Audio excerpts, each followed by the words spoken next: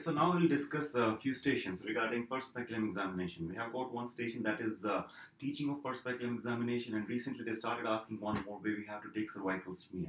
Yeah, so what we will be doing now, we'll be discussing uh, both these things, how to do speculum examination and how to take smear. Alright, so of course in this uh, you can wear the gloves, you will be getting a new speculum, new speculum, so you can open it and drop it in the tray drop it in the tray and after that you can throw this in the waste bin. Alright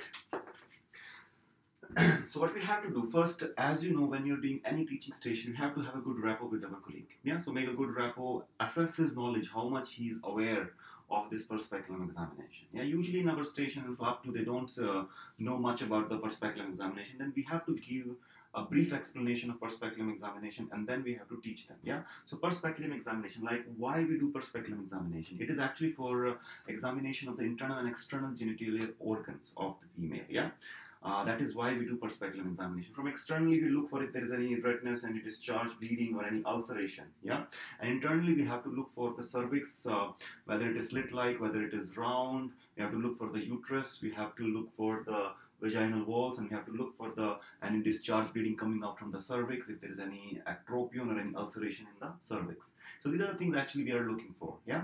So you can uh, just explain a bit uh, not in uh, like full detail because uh, uh, again you know like it's like eight minute station. So just give him brief introduction about uh, this speculum examination why we do.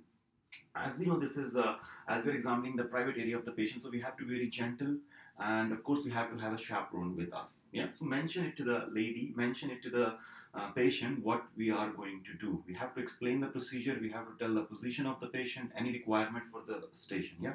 For example in this we always tell the patient we want you to undress below below the waist. We have a chaperone to ensure your privacy yeah? And what should be the position? In speculum examination the position is we tell the patient to lie down comfortably on the back bring the heels as much as close to the bottom yeah, bend the knees and bring the heels as much as close to the bottom and the knees fall apart on either side of the bed. That is the position in this particular station, per speculum examination. Alright, and one thing, whenever we're doing per speculum examination, you're taking smear or doing antenatal examination or bimanual examination, anything, make sure you tell the patient to empty the bladder. Very important, don't forget that. Yeah. So one thing in uh, speculum teaching that we have in PLAB 2, there is no patient actually. So what we are doing, we are talking to our colleague. We are talking to our colleague and we are explaining all this stuff. Yeah. So this is the thing. And one more thing I want to tell, like if uh, if we have to take smear, this is a brush for smear. This is usually you will get the brush in the exam. That, that is in the cervical smear station. Uh, for example, if you have to explain about the smear, there are some contraindications that we have to uh, make sure we rule out. Uh, for example, if the patient, uh, if she's pregnant, or if there is active menstruation bleeding, if she, or uh, any bleeding, or you can say recent sexual intercourse or usage of any spermicidal jelly, these are actually the contraindication of cervical smear. I'm repeating again, uh, these are the contraindication for cervical smear. These are not the contraindication for speculum examination. Yeah, so these are not the contraindication for speculum examination. Of course, when, when the patient is coming to us with the bleeding, uh, of course, uh, we will be doing speculum examination. These are the contraindication for smear. We don't usually take smear if these are the contraindications. Yeah. So what to do? First is the first is inspection. Yeah. So first we inspect. Uh, we are looking for if there is any redness, any swelling, any scar mark of any previous surgery, or if there is any uh, bleeding discharge coming out from the vagina. Yeah. After that, what we have to do? Use your index, index finger, and thumb, and retract the labia like this. Yeah. And then it will actually you can do the better inspection. Fine. After that, what we have to do? You can always tell the patient to to cough. What you're looking for? We're looking for if there's any vaginal prolapse. Yeah. So tell the patient to cough, and we're looking for any any prolapse. Fine. After that, what we have to do? Uh, usually, we do this examination when we have a good source of light. Yeah, because otherwise, uh, nothing will be visible inside. Yeah. So after that, what we have to do is uh, we have to have this uh, speculum. So usually they are giving this kind of uh, speculum in the exam. Yeah. So there is a, a, valve that you can tighten the screws if you want, and you have to hold it in this way, so that the control is in your hand. Whether you want to, when you want to open, when you want to close, it is in your hand. So this is how we hold it. Yeah. So make sure when we are inserting this for this per speculum examination, make sure make sure you lubricate it well you lubricate it well. You have all done this uh, traction, and then you have to insert it. You usually insert it in this way, and when you're going in, we have to rotate it upward. Yeah. So let me show you what we do and how we do.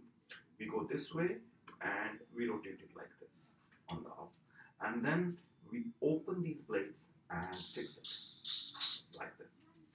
So this is how it is done. And after that, you can see the cervix, you can see the position of the uterus through this. This is what we do in real life. So cervix, actually you can see cervix, two types of uh, cervix you can see. Maybe it is circular or sometimes it is slit-like. So it can be circular or slit-like. Circular meaning the patient is nulliparous or we can say patient hasn't given the birth vaginally. Yeah. If it is slit-like, it means she has given birth vaginally. Yeah, so that is the meaning of this. After doing this, you can comment on a lot of things. You can comment on the cervix. You can comment on whether it is uh, circular, whether it is slit-like. You can comment if there is any uh, redness, any bleeding, any discharge coming out from the cervix. You can comment if there is any ulceration or any ectropion on the cervix. You can comment on all these stuff. Yes, after that what we have to do like for example if the station says you have to take smear but as you know in per speculum examination teaching in part 2 there is no smear that we have to do so in that simply do this and just take it out. But if we have to take smear, just do the other station as well. As I mentioned, we have a new station recently where we have to take cervical smear. So we have this brush. So what we have to do in the smear, you have to insert this brush inside and you have to rotate it 5 times 360 degree. You have to rotate it nicely like 1, 2, 3, 4, and 5. So you have to insert it and you have to rotate it five times. Five times, yeah? So you just go in and one, two, three, four, and five. After that, you take this out. Now it depends which smear you want.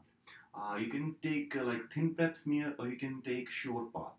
Usually what they have in the exam, you may see two bottles. So maybe it's written ThinPrep on one, another one is sure path. So which one we are going to take? So for example, if this is ThinPrep, so what you have to do, this brush, you have to drop like 10 times. 1, 2, 3, 4, 5, 6, 7, 8, 9, 10. That's it. So this is your ThinPrep. In the exam, actually, there will be some solution there in these bottles. So simply 10 times, if you drop it, that is ThinPrep solution. Other one is SurePath. If you have to take SurePath, for example, so what you have to do, if you can see this brush, just take off this brush, simply like this, and drop it in the bottle. That's it. So this is how you take uh, SurePath. So ThinPrep 10 times, SurePath, you just drop the brush. So what we are doing, we are doing, we are rotating this brush 5 times 360 degree in the, uh, when we are taking sample and after that, uh, uh for ThinPrep, we are just dropping it uh, uh, 10 times, 1, 2, 3, 4, 5, 6, 7, 8, 9, 10. For SurePath, you drop the brush. Yeah, after that we can throw in the waste bin. Yeah, what we have to do after that, now the, another technique is how to take this out. It is very, very important how to take this out. First of all, loosen this yeah, and after that, when you're taking it out, make sure the blade should not close completely because if it closes completely, it may pinch the patient's skin. Yeah, and if uh, it's open widely like, then again it's uncomfortable. So we have to be very careful. We have to take it out the way we have inserted. So loosen it and then take it out slowly, slowly, rotate it and take it out. And like this. As you can see, it is still open a bit. It's not completely closed. Otherwise, it will pinch the patient's skin. So after that, we can visualize, we can see, we can inspect if there is any discharge, any bleeding. Yeah. After that, that's it. We can just drop it in the waste. Done. Yeah. And after that, we can offer wipes to our patient. We can tell the patient, thank you so much and have a nice day. And also we can tell, for example, if you have taken the smear, so we can tell that uh, we are going to send these uh, uh, sample for the investigations and uh, you can tell the patient that you will receive the reports uh, maybe around in one week or in few days time. All right. So this is about the this speculum and about the cervical smear, how to take cervical smear. Yeah. So just see in the station what exactly they're looking for. If they want you to take cervical smear or if it is only speculum examination and do it accordingly. It's a very simple station and uh, I hope it is uh, this video is useful. Thank you so much.